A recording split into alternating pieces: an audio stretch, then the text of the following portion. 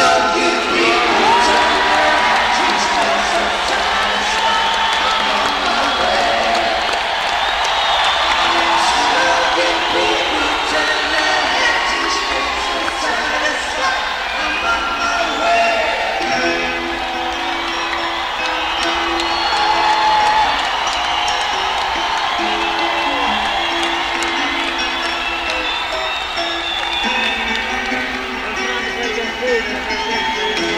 It's got you.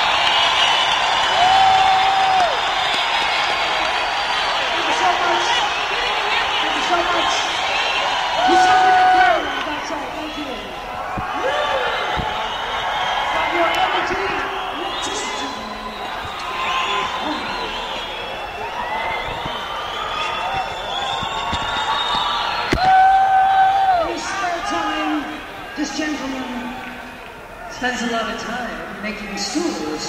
In fact, this is one of his latest creations. You can see it's got wide legs, the same color scheme as the guitar. And he spends a lot of time in the studio making these stools, yes. Sorry, no, he makes music, sorry. I just rambling, you know, just rambling, rambling.